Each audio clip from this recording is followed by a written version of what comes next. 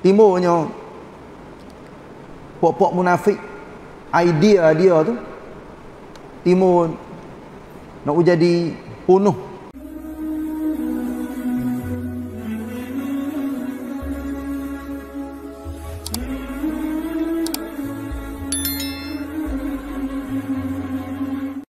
أعوذ بالله من الشيطان الرجيم إن الذين جاءوا بالإفك عصبة منكم لا تحسبوه شرا لكم بل هو خير لكم لكل امرئ منهم ما لكل امرئ منهم ما اكتسب من الإثم والذي تولى كبره منهم له عذاب عظيم لولا إذ سمعتموه ظن المؤمنون والمؤمنات بأنفسهم خيرا وقالوا هذا إفك مبين لولا جاءوا عليه بأربعة شهداء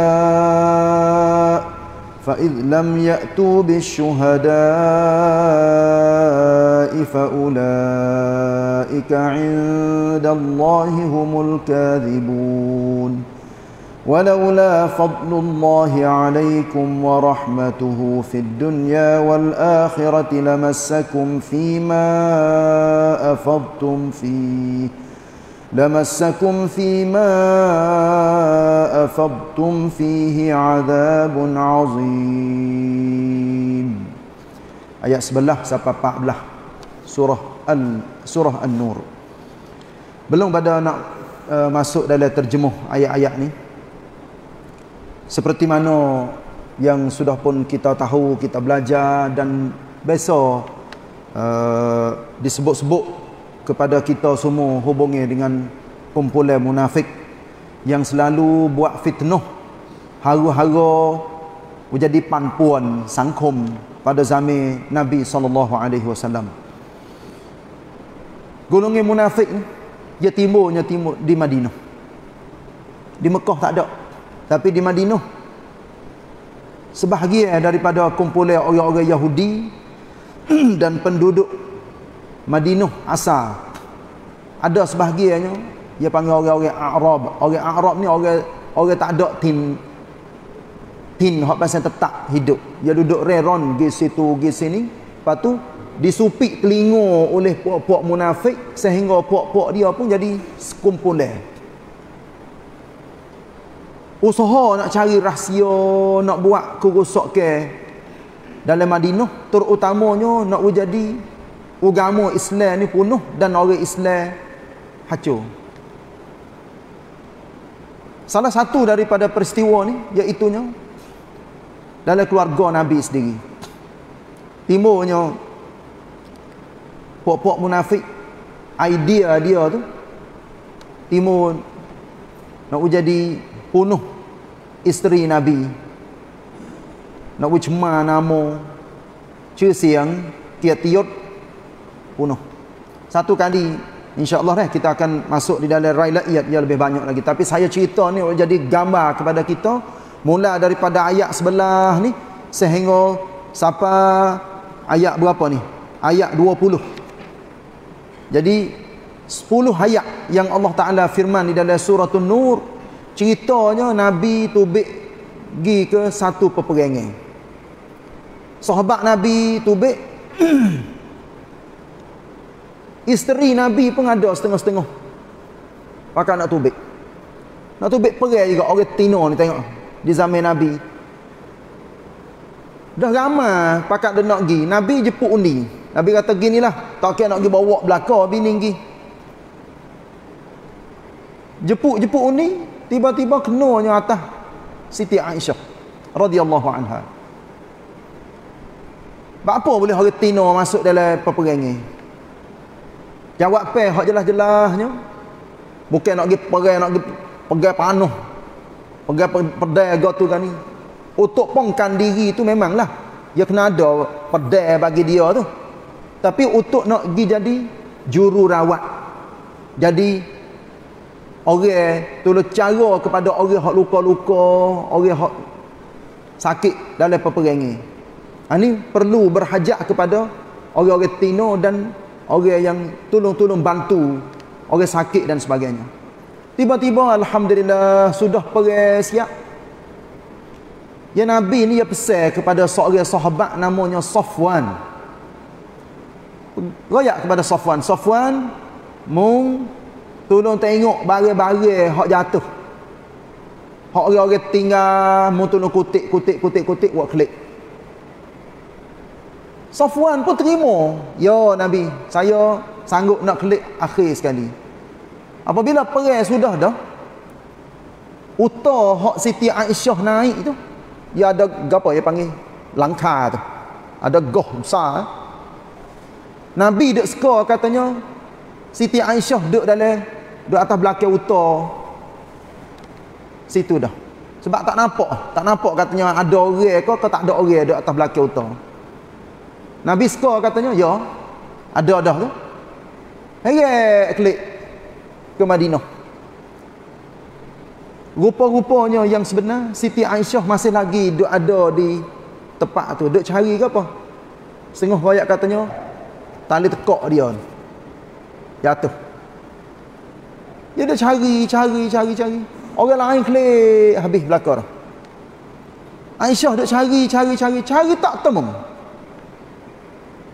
Safwan yang diperintah oleh Nabi supaya cari supaya kutik barang-barang hak orang jatuh-jatuh dalam perang Safwan pun duduk situ duduk cari pasal kerja dia. Aisyah pasal kerja dia duduk cari tanda tekak dia. Tiba-tiba tak ada orang lain. Hak tinggal di situ hanya Siti Aisyah dengan Safwan Safwan ni bawa jalan rata dia klik mari tempat utar dia duduk dia ada seekor uta duduk. Siti Aisyah nampak habis jalan dah. Cari cari cari tak tahu mana tali tekak dia jatuh. Safwan mari tengok pak subhanallah isteri Nabi. Sebab Safwan dia kenal Siti Aisyah. Tak kecek sepatah, tak tak ada tanya katanya bak apa duduk sini, buat gapo, bak apa orang klik belakang dah tak naik uta sekali dengan Nabi. Safwan ni ya, ya reti, ya tahu katanya Siti Aisyah duduk dalam pawak, mai pakati pada masa tu. Lalu itulah, apabila tak ada orang, ya dah nak klik, sudah dah kerja dia. Ya royak kepada uta dia, maknanya royak kepada Siti Aisyah, suruh naik uta, uta dia. Alhamdulillah, Siti Aisyah pun naik uta. Bila uta bangun, didapati tali tekak Siti Aisyah duduk bawah. Perut utar tu. Duduk situ. Temung situ. Maka Safwan pun heretlah utar. Kelik ngok-ngek ngok-ngek ngok-ngek ngok-ngek ngok-ngek sapa di Madinah. Bila nak sapa di pitu bandar Madinah puak-puak munafik itu dia duduk tengok duduk cang belah-belah dah. Eh rano Nabi klik tan malah dah. Bini dia tak klik lagi Pas Nabi pun tak tahu katanya utah hak, hak diheret klik mula-mula tu. Ada ke tak Siti Aisyah? Duduk dalam tu. Bila pergi buka apa ah tak ada. Kalau kecek mudah-mudah ah gimana bini kahwin? Ha gitu lah kecek bahasa kapau tapi kita tak tak senonoh kecek lagu tu dengan Nabi. Nak ayat katanya Nabi kejut. Tengok utah-utah kosong atas belakang. Tak ada tak ada bini dia. Bila Safwan heret utah klik sampai di Madinah Orang munafik mula kecek. Yo, hmm jalan dah tu. Sabik nak pergi perang, nak pergi dalam medan perang sangat tu. Ada tu tujuan go tu go ni go tu ni. Safwan pun tak ada kata gapo. Siti Aisyah tak ada kata gapo. Sebab apa? Sebab dia berisuk. Klik mari pak. Ha? Masuk dalam rumah. Nabi pun tak ada tanya. Katanya apa boleh lewat go tu go ni tapi hakikatnya sebenarnya Nabi tahulah katanya isteri dia pergi tu memang kelik lama adanya satu-satu cara yang berlaku. Tapi di luar rumah di kota Madinah orang mula kecek pakar yo pok-pok munafik ni cepat cepat sangat. Dan siapa berita ya pah pah pah pah pah pah pah pah pakak kecek? Orang-orang Islam pun dengar juga wah orang munafik dok kecek. Aloh bini Nabi yang punuh lah lah dok main dengan jatah siapa ke nabi ni kelum cai? Tak tahu nak kecek lagu mana? Siapa sebulan nabi tak kecek dengan Siti Aisyah? Duk dengar orang duk kecek belakang. Bangun esok orang kecek. Lusa orang kecek. Minggu depan pun orang duk kecek lagi. Ayat ni belum belum pada turun ayat ni. Orang pakai duk kecek Siti Aisyah ni. Dia teriak teriak teriak teriak teriak teriak. Makan sikit-sikit gitu Alhamdulillah Allah Ta'ala buat turun ayat ni lepas tu dia masuk dengan cerita belum pada ni hubungi dengan tuduh zina tuduh orang zina tuduh di antara suami isteri berzina. Masuk ayat yang ke-11 Tuhan pun royak. Inilah cerita dia. Sesungguhnya orang-orang yang membawa datanya berita yang amat dusta itu ialah segolongi dari kalangan kamu. Usbatun minkum. Usbah ni maknanya คนที่อยู่ในกลุ่มของของพวกเจ้า kalau dia orang ngaji faraid dia panggil asabah asabah daripada asabah tu usbah artinya satu kumpulan daripada puakmu orang yang ngaji faraid ngaji cara bagi-bagi saka dia panggil asabah. Asabah ni maknanya orang boleh terima saka hak lebih-lebih. Tak ada kena duk kira pasal neng suan sam ko neng suan cek ko dak hak lebih boleh jadi week dia. Ha ni. Orang-orang munafik pun lagu tu juga. Dia duduk dalam kalangan orang-orang Islam duk gelomok market semaya sekali. Puak-puak munafik ya semaya. Tapi semaya dia dia dia tak ada duk nak sungguh dak ke semaya. Inilah yang Allah Taala raya nota kaki satu-satu satu kosong. Dalam ayat ini dan ayat-ayat yang berikutnya Allah Taala menerangkan tentang dustanya orang-orang menuduh ummul mukminin sayyidatuna Aisyah radhiyallahu anha berlaku sum, sum apa ni? Berlaku sumbang Lalu ditegaskan bahawa tuduh hai pelsu itu yang berpunca dari ketua kaum munafik di Madinah. Siapa tu? Abdullah bin Ubay bin Salul. Ni ketua munafik. Ma'ruf. Di kalangan semua orang-orang Islam tahu katanya Abdullah ni adalah orang yang sangat-sangat jahat. Dialah wak fitnah, panpuan sangkom, gotu, goning, gotu, goning dan sebagainya tidak akan dapat memburukkan nama baik isteri Nabi yang bersih suci bahkan sebaliknya mendatangkan kebaikan iaitu pahala yang besar kerana bersabar mengenainya dan memberikan penghormatan serta kemuliaan kerana Allah Taala membersihkan nama baiknya dan keluarganya serta suaminya Rasulullah sallallahu alaihi wasallam. Dalam beberapa ayat suci yang kekal dibaca turun temurun di dalam Al-Quranul Karim. Alhamdulillah ayat orang duk baca sokmo sampai ke hari kiamat. Tapi puca yang berlaku daripada Abdullah bin Ubay bin Salul dengan semun puak-puak dia ramai-ramai ni Masya Allah duk sebar fitnah dalam Madinah Masya Allah khabar khosari banyak khosari banyak. Orang Islam supaya saya duk rakyat sini setengah-setengah orang Islam pun berasa katanya puak-puak munafik ni kecek sungguh. Sebab orang munafik dia kecek tak nampak katanya dia kecek bohong Orang pun pakat percaya belakang. Allah Taala apa ayat. Nah. Kamu janganlah kamu menyengka berita yang dusta itu buruk bagi kamu. Ni ayat kepada orang Islam. Jangan dak suka katanya berita ni berita tak molek. Bal huwa khairul lakum. Bahkan ia baik bagi kamu. Bak apa tu? ถึงแม้จะเป็นเรื่องร้าย tapi hak sebenarnya Allah Taala nak เปิดโปง nak แฉ keburukan orang-orang munafik jadi boleh tahu selalu katanya peristiwa ni berlaku siapa duduk panpuan puak munafik. Boleh tahu selalu dah. Sehingga Allah Taala royak ayat lepas pada ni, hei orang-orang Islam mu jangan dek gaduh kecek. Dia tahu berita gapo-gapo, minta maaf dah. Mulut ni jangan lemak sangat.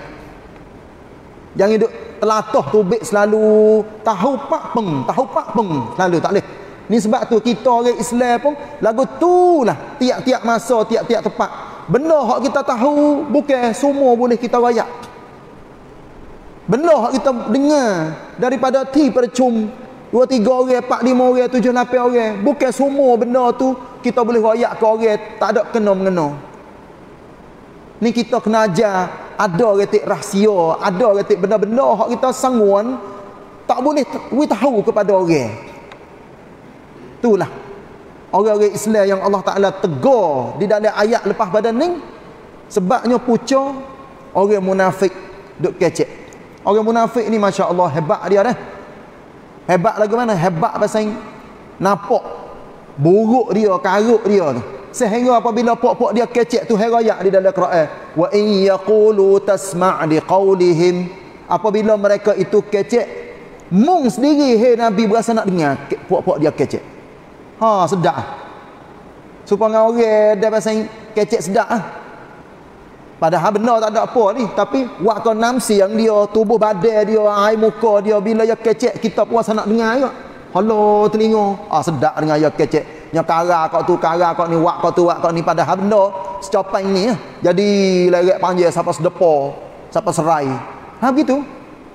Inilah puak-puak munafik tiap-tiap seorang di antara mereka akan beroleh hukum mis padan dengan kesalahan yang dilakukannya itu kecek mudah-mudah ya siapa yang buat orang itulah kena terima hukum sendiri kalau kecek bohong bohong kalau buat fitnah, maka fitnah itulah akan naik atas kepala dia sendiri. Lepas tu kalau dia duk bawa benda ni sampai mati, maka duk dalam kubur pun kena duk seksa di dalam kubur dengan sebab apa? Sebab dusta dia duk buat di atas muka dunia.